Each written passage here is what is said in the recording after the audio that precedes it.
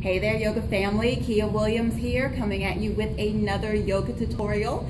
So this tutorial is all about the Ashtanga base jump back. So we've done a tutorial before on the pass through, going from downward facing dog to seated, and I'll provide a link to that below this in the description if you want to check that video out. But today we're going to go in the reverse, and I believe the reverse is a little bit harder. Truth be told, I am not an Ashtanga practitioner. I just play one on TV sometimes because I like the practice, and I've never been able to master this transition without the use of some assistance. So I say all that to say that wherever you are in this process, whether you get to the full out version of this or you never do, it's all okay.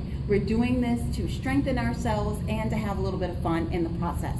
So keeping with this idea of playing and having fun, I'm going to talk about a couple of the benefits of this practice and demonstrate a few ways of doing it no matter what your ability level or experience is at this moment.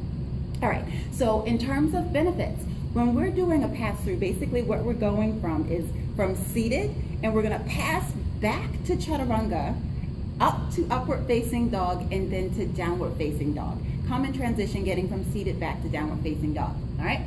So we're strengthening all of the muscles in the upper body here. So obviously we're gonna be using our shoulders and our chest and our arms to help hold us and draw our feet through, but we're also going to be engaging some very important, important muscles in the core, specifically the deep low abs. Because in Ashtanga practice, we're working on engaging two very important bandhas in this practice.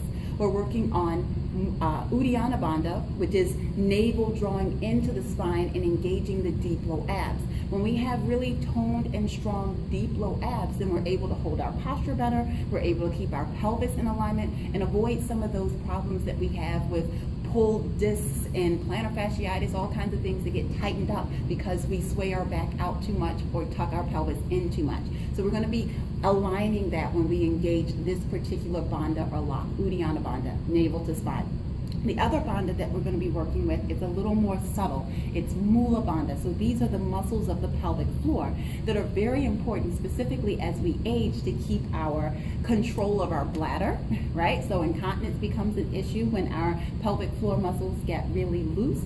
And when we engage them, then we tone them, we bring a little bit more strength to them. And in terms of this practice, it helps us get that little extra lift we need to get our hips off the ground and our feet underneath of us.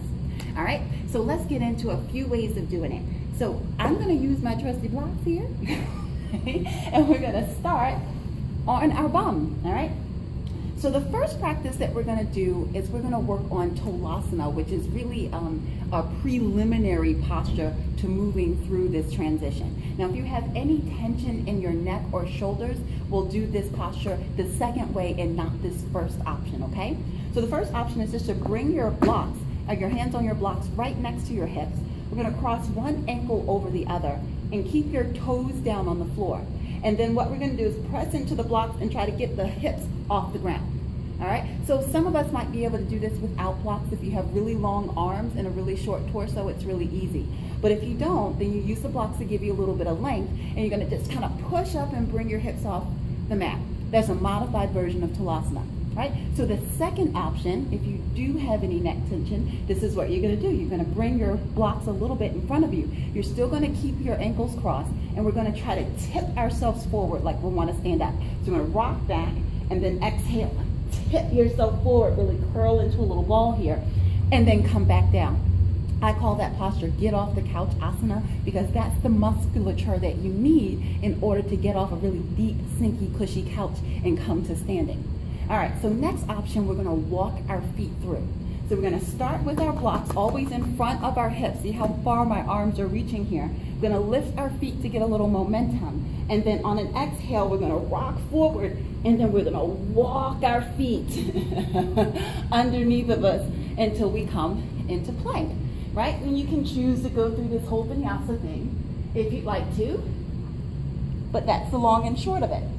Now, more advanced option. If you have worked through the walking the feet back, you've worked through Tolasana and modified Tolasana, now we're gonna try for the whole Monty, right? So we're gonna try to bring our feet underneath of us and land in a low plank. Here we go. We're gonna rock back, cross the ankles, And we're gonna go for it.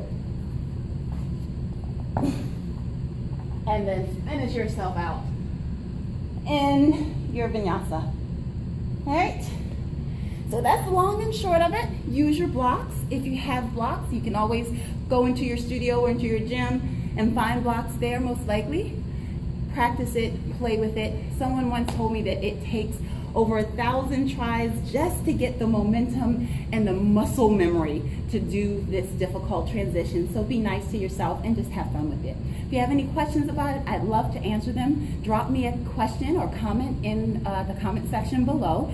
If you have any questions about other postures that we do, please don't hesitate to ask me. I'd love to make you another yoga tutorial about it.